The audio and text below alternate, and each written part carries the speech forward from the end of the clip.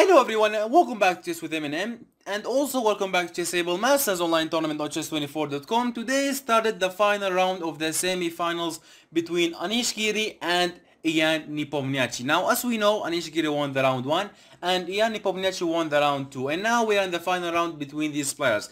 So, let's see, so without wasting any time, let's see what happened in the first game of the semi-finals between Anish Giri and Ian Nepomniachtchi of the final round, okay?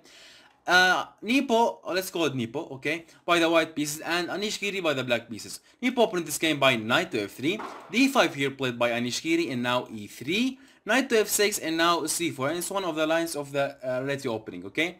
e6 played here and now knight to c3 developing the other knight and here the most played move is b6, our bishop to e7 but here instead uh, uh, this moves uh, Anish Giri played d capture on c4, okay. Bishop capture on c4. Now the idea is forcing this bishop to capture on the c4 to pushing a6 and b uh, a6 and b5 with tempo on the bishop to develop this bishop on the h1a diagonal. Okay, this is the main line by the capture on c5.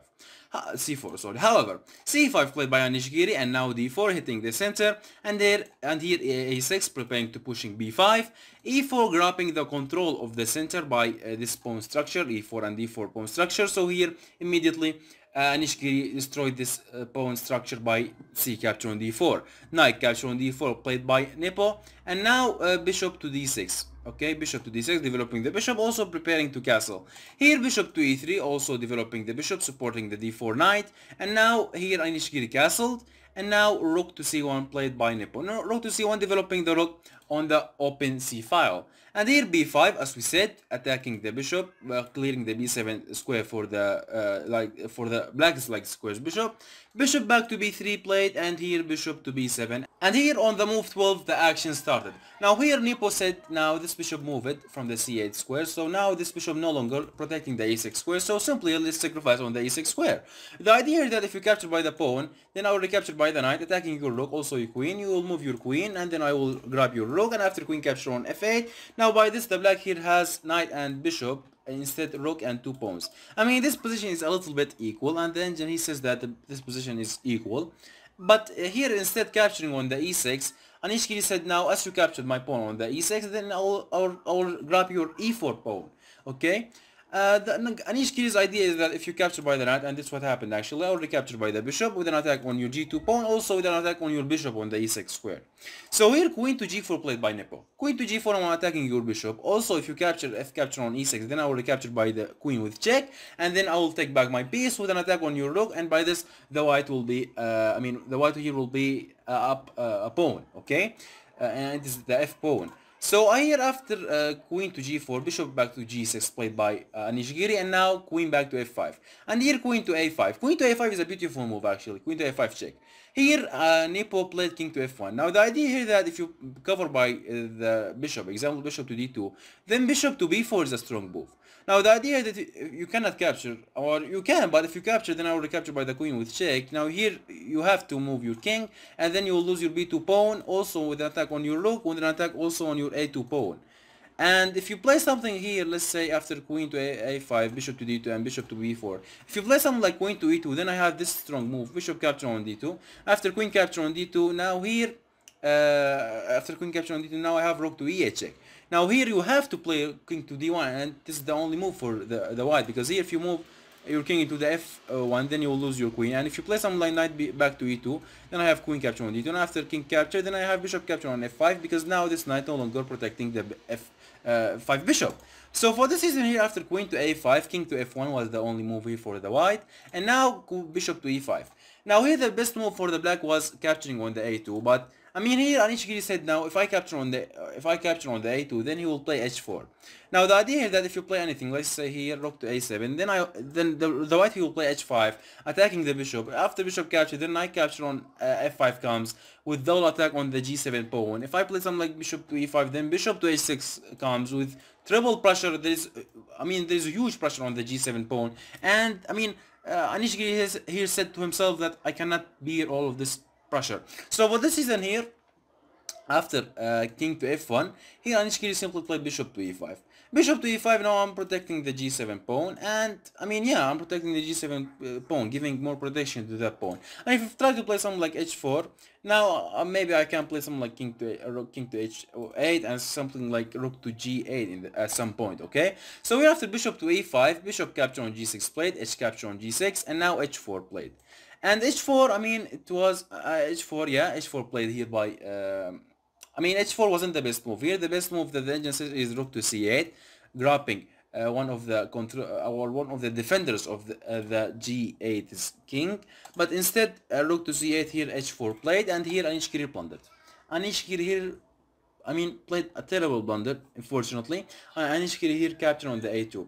Now the engine here says that Anish Giri had to capture on the d4 okay and we will see uh, I mean I will explain why capturing why Anish Giri had to capture on the d4 our Anish Giri yeah I mean the best movie for the, the white is capture for the black sorry is capturing on the d4 because here after queen capture on a2 here Nepomniachtchi simply pushed h5 uh, I, I, want to open the the file for my rook queen to d5 played now and now simply h capture on g6 f capture on g6 played and now knight to e6 played knight to e6. Now uh, the idea here that I want to play knight back to g5, queen to h4 and queen to h8 checkmate. I mean, the, for so for this season here, the best move was grabbing this I mean, this dangerously knight, okay? So here after knight to e6, uh, rook to e8, uh, I mean knight to e6 attacking the rook, so rook to e8, uh, attacking the, uh, the knight, and now simply knight to g4, now the threat is queen to, uh, I mean queen to h4 and queen to h8 checkmate, or queen to, yeah, queen to h8 checkmate.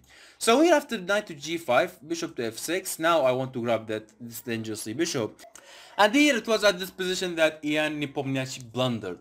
Why? Here Ian Nepomniachtchi played king to g1 and Ian here missed so strong tactic and it is rook to h8. Now rook to h8 the idea here that if you capture and this is the only move then I have queen to h4 check when you move your king to the g8 then I have. Queen to h7 check when you move your king to the f8 then I have. Bishop to c5 check. I mean this check is so deadly.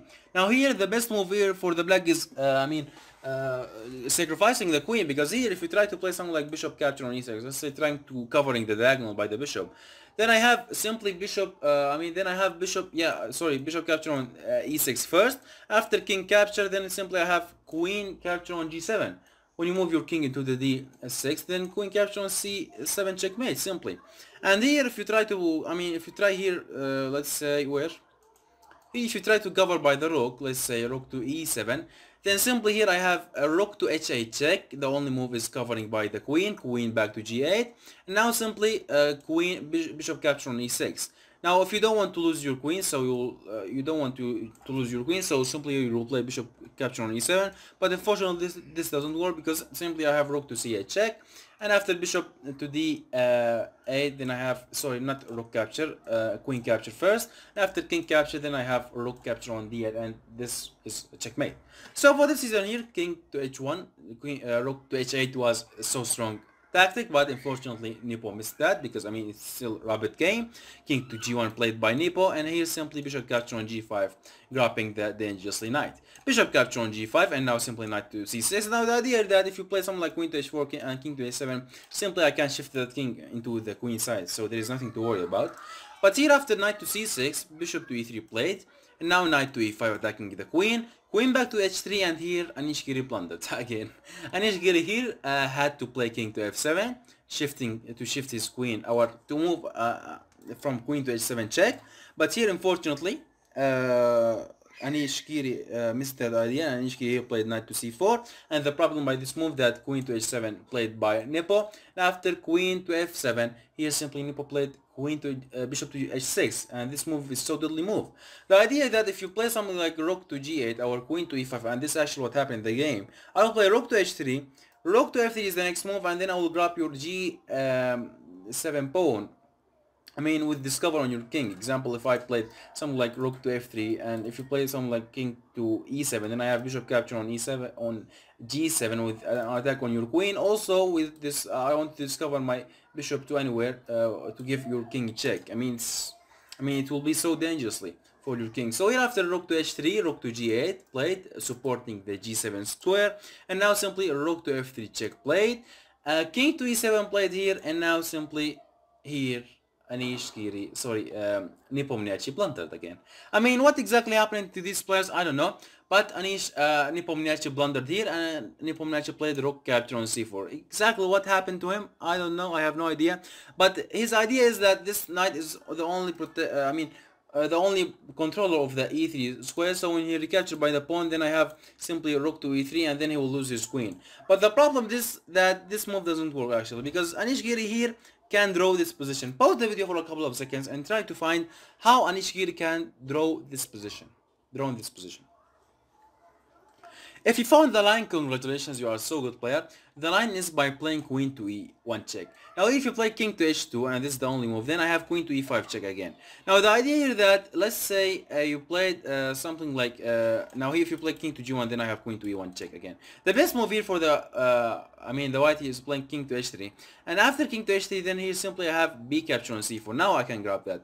Uh, pawn because here when you play something like rook to e3 then simply I can sack my queen. Queen capture on e3 and after pawn capture on e3 now I have this deadly move and it is king to f6 king to f6 now your queen trapped you can, if you move your bishop to anywhere then rook to h8 let's say not uh, to g to the g8 but let's say uh, into the f4 uh, okay then queen to h8 and your queen trap it so for this reason here the best move for the black is capturing the pawn on the g7 bishop capture on g7 then i have rook capture on g7 and now i have two rooks for queen and uh, i mean both players has uh, three pawns so i mean this position is equal. But unfortunately uh, Anish Giri missed that idea and after rook capture on c4 Anish Giri he simply played rook to h8, attacking the queen early. And here after uh, king to h8, queen capture on g7 played simply. Queen capture on g7 played by uh, Anish Giri and now bishop cap, uh, sorry not bishop capture on e7, uh, rook to e4 check played first. And it was at this position that Anish Giri simply decided the game. Why? Because I mean you'll move your king into the d file, let's say the king to d6, and then simply you'll lose your queen and by this now you the black here is down a whole piece. And I mean this is enough to win this game. So yeah, it was at this position that Anish Giri simply decided the game and by this Ian Nepomniachtchi won the first round. The first game, sorry. So let's see what will happen in the next game. So hope you enjoyed this video. Please don't forget to by the like and subscribe. Also, you can check out my previous videos and see you in the next videos.